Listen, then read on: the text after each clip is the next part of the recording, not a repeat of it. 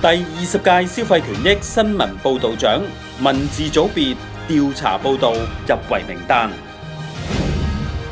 传真社翠湖花园围标案调查系列；星岛日报内地猪瘟引发古惑冰鲜猪肉危机系列；香港零一一手楼高回赠乱象系列。大公布